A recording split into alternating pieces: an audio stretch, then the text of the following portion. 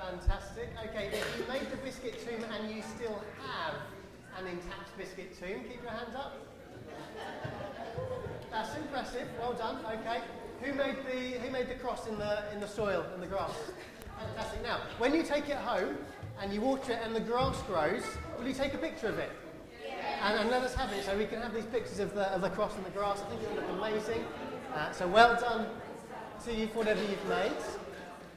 Now, while you take your seats again, could I have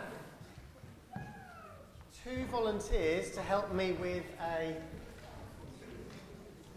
to help me with something? Okay, I'll give you a disclaimer now. No one's getting chained up today, so you are clear for that. Okay. Uh, Reese, come, and Jessica, come. Okay. Now then, in here, there are some eggs.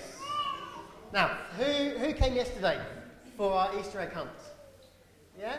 Brilliant. Did you all find some eggs? Brilliant. Okay, good stuff. Now, I went on a bit of an Easter egg hunt too.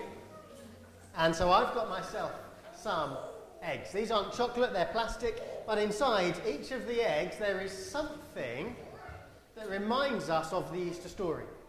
And so our two volunteers are going to take it in turns to, to take out an egg and open it, and we'll see what's inside.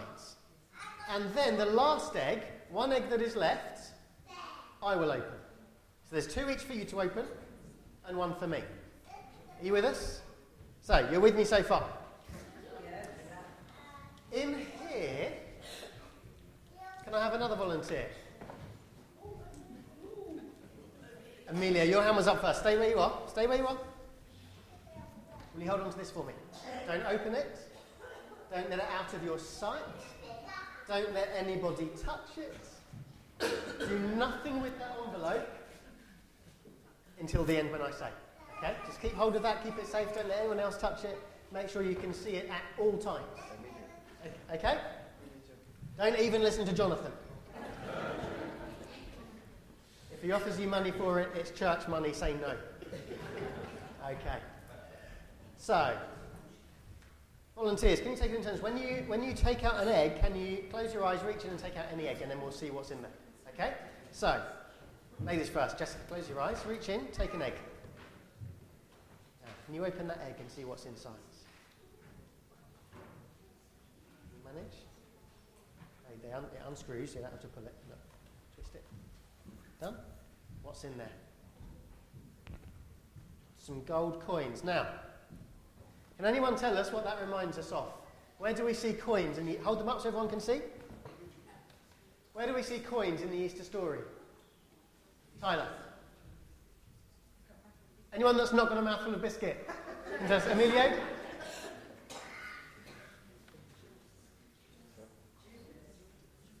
I'm hearing names of Judas. Fantastic. So, Judas, brilliant. So, Jesus was betrayed by one of his closest friends for 30 pieces of silver.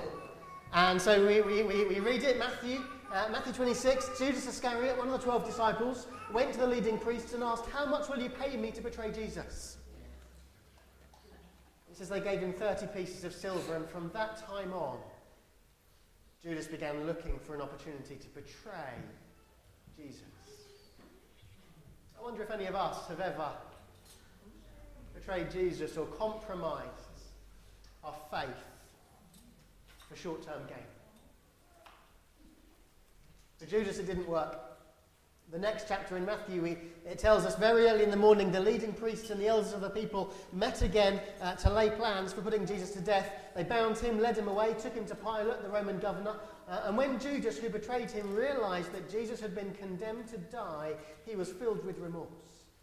So he took the 30 pieces of silver back to the leading priests and the elders. I have sinned, he declared, for I have uh, betrayed an innocent man. What do we care?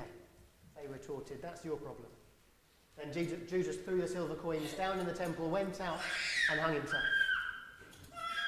The leading priest picked up the coins. It wouldn't be right to put this money in the treasury uh, since it was payment for murder. And so, after some discussion, they finally decided they, they bought a field and used it to make a cemetery. So that reminds us That 30 silver coins, Judas uh, betrayed Jesus and was paid 30 silver coins, but it also reminds us, those coins also remind us that when Jesus died, he paid the debt that we owe to God so that we could be free from our slavery to sin. Paul writes in 1 Corinthians that God paid a high price for you. He says, so don't be enslaved by the world. So, Jessica, thank you. You can put those on the table. The coins remind us, firstly, that Judas was. Are the coins back in the egg?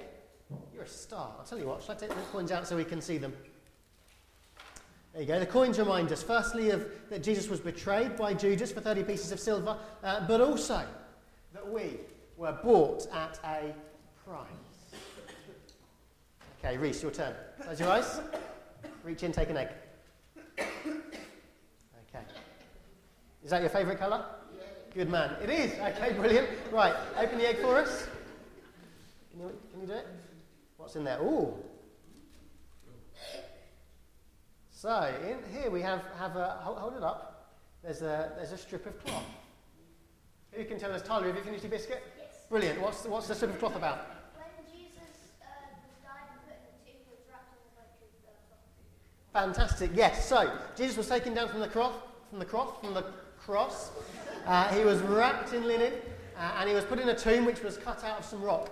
And uh, on Easter Sunday morning, it was those strips of linen, those empty burial cloths, that were the, uh, the first uh, real clear sign that Jesus had risen from the dead. Do you remember the story? Uh, the, the women went to the tomb and uh, they found the stone rolled away. They looked inside and found the, uh, the grave clothes lying there, and, the, uh, and it said that the, the piece that was around his head had been nicely and neatly folded up and placed away from the, from the grave clothes because they weren't needed anymore. First sign that we had that Jesus had risen from the dead. But do you know what else they remind us of? It also reminds us of a bandage, if you like, of. Because not only does God forgive us for our sins, but He also heals us and makes us whole. Luke's Gospel tells this story. When they came down from the mountain, uh, the disciples stood with Jesus on a large level area surrounded by many of his followers and by the crowds. There were people from all over Judea and from Jerusalem and from uh, the seacoasts of Tyre and Sidon. They had come to hear him and be healed of their diseases, and those who were troubled by evil spirits were healed. Everyone tried to touch him because healing power went out from him and he healed everyone. If you were here last week, we spoke about uh, peace and praying for the peace of our city. And we spoke about how peace is, is firstly a, uh, about peace within ourselves, peace with each other, and peace with God. And, you know, people look everywhere, don't they, to try and get hold of that peace. And, and these guys found it in Jesus. Not only does he forgive us, he, he heals us and he makes us whole. Okay, who's next? Jessica, your turn. Close your eyes. Reach in, take an egg. Superstar. Right, what's in there? Careful with those ones. What are they? They're not screwdrivers, they're some nails, aren't they? Okay. So, who can tell me where nails feature in the Easter story? Ebony. When Jesus was on the cross. Fantastic. So, can, you, you okay holding these? Keep your hand flat so that they don't hurt you. Okay. If I take the egg, you can hold the nails up a little bit so people can see. Yeah, Ebony, brilliant. So, Jesus was, was, was nailed uh, to a cross. Now, so these hands, these hands that Jesus used to touch people, to bless people, to help people, those same hands had, and they weren't little nails like this, they were, they were big, fat, rough, rusty things. They had nails hammered through them to hang Jesus on a cross. Here's what Isaiah says Isaiah 53 it was our weakness that he carried, it was our sorrows that weighed him down. And we thought his troubles were a punishment from God, a punishment for his own sins, but he was pierced for our rebellion. He was crushed for our sins. He was beaten so that we could be whole. He was whipped so that we could be healed. All of us, it says, like sheep have, have gone astray. We've left God's paths to follow our own. And yet the Lord laid on him the sins of us all. He was oppressed and treated harshly, yet he never said a word. He was led like a lamb to the slaughter, and as a sheep is silent before the shearers, he did not open his mouth. Thank you, Jessica. The nails remind us that those hands were pierced because of what we did wrong.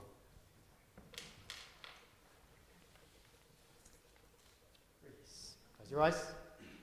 Oh. In you go. Go for an egg. Okay, what have you got in there?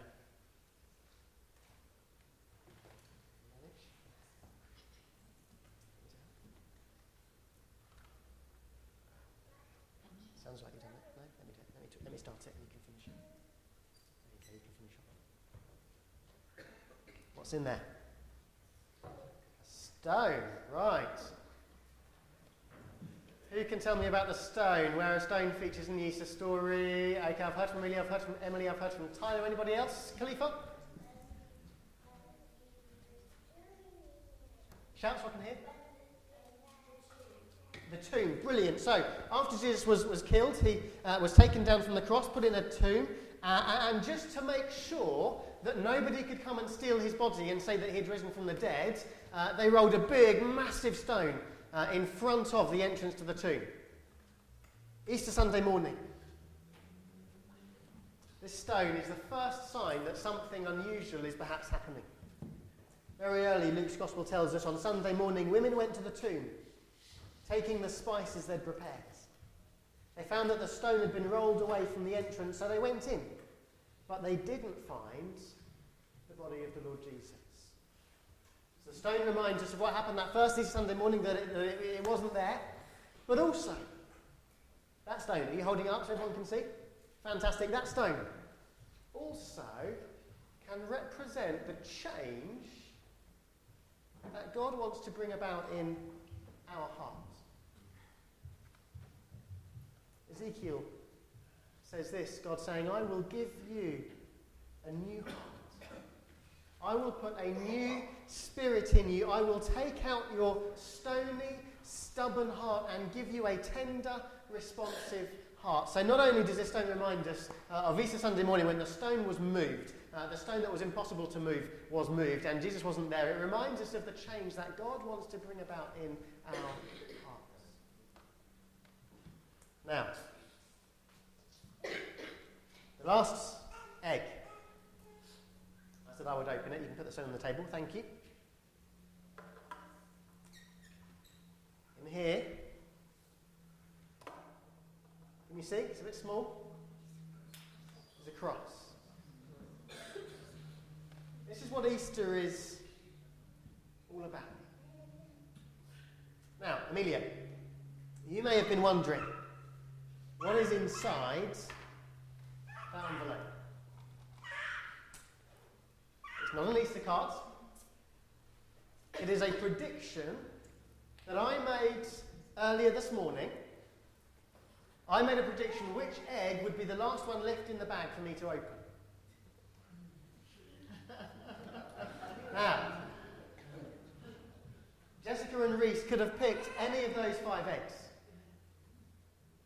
They each picked two, and they chose to leave this one, which has a cross inside.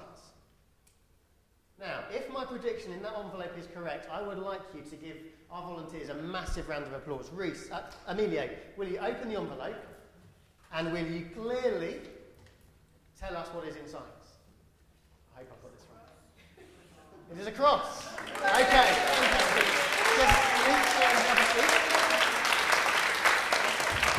Thank you very much. Now,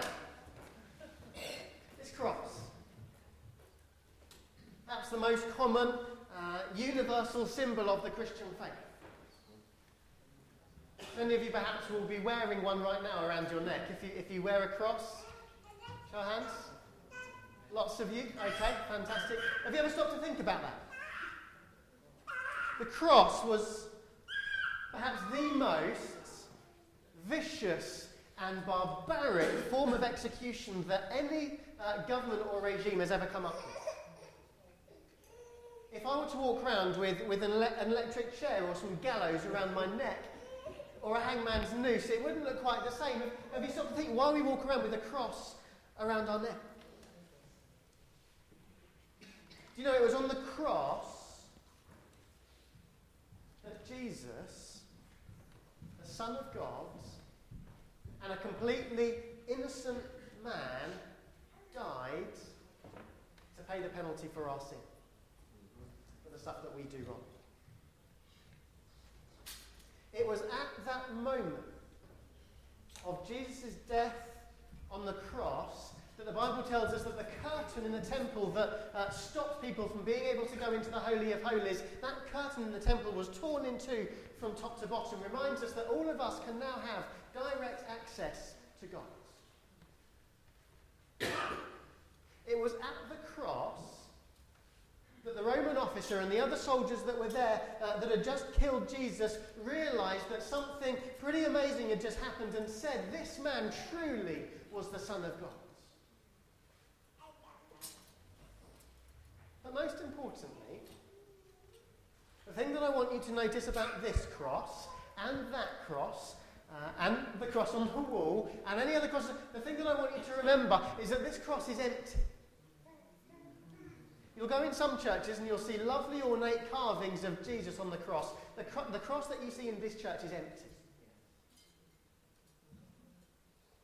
When Jesus died, he paid the price for all of our sin. For my sin, your sin. When he died, he made it possible for us to be reconciled to God. But you know, he didn't stay dead when he rose from the dead, it reminds us that we can put our old life to death. And we can begin a new life with Jesus. Paul writes in, uh, in Corinthians anyone that is in Christ is a new creation. The old has gone, the new has come.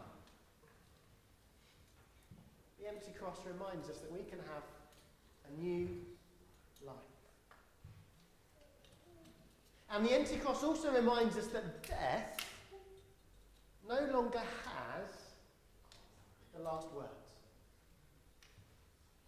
Jesus, not only was he perfect when he lived, but he also overcame death. One of the, the most famous verses in the Bible, you'll probably know it, John 3.16, For God loved the world so much that he gave his one and only Son, that whoever believes in him should not perish. That means they, they shouldn't die, but will have eternal life.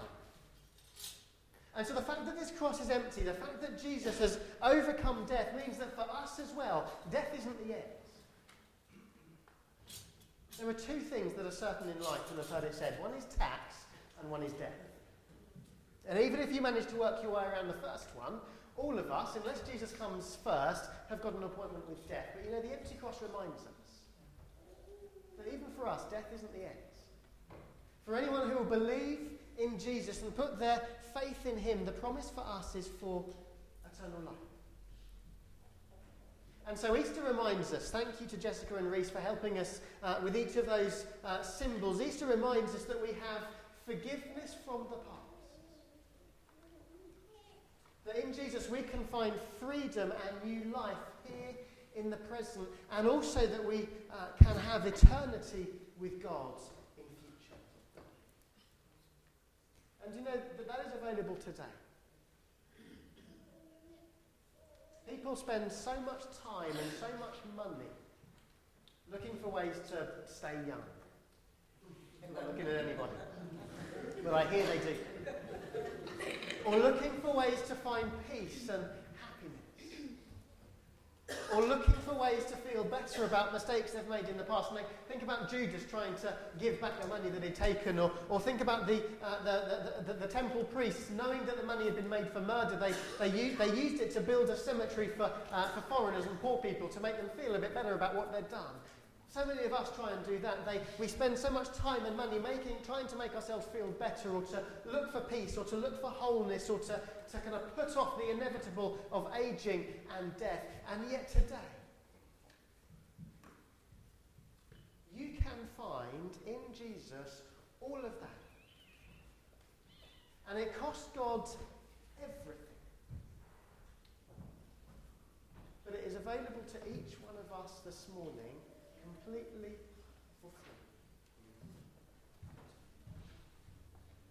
Friends, as we begin this countdown to Easter, I'd love to give you an opportunity, uh, if you have not done so before, to, to do just that, to put your faith and your trust in Jesus. I'm going to pray. And as we pray, if you would uh, do that this morning, if you would like to either place for the first time or replace your trust in Jesus, simply echo the prayer that I pray in your heart. Don't leave here this morning without taking up that opportunity to find freedom from the past, new life now, and hope for the future.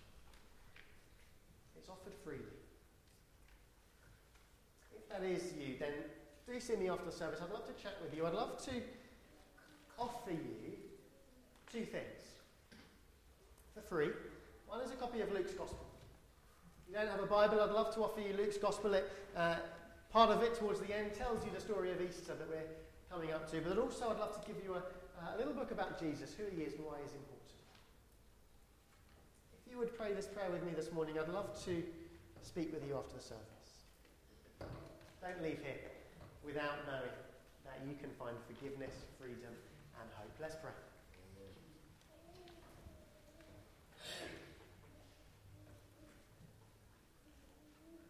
Lord, thank you for Easter. Thank you for the reminder we've had this morning of your love for us.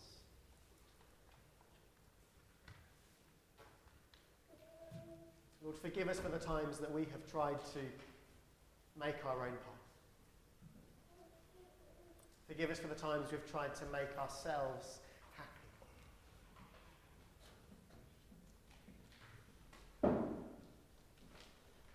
Thank you that you love us. Thank you for sending Jesus to die for us on the cross so that we could be forgiven and made right with you.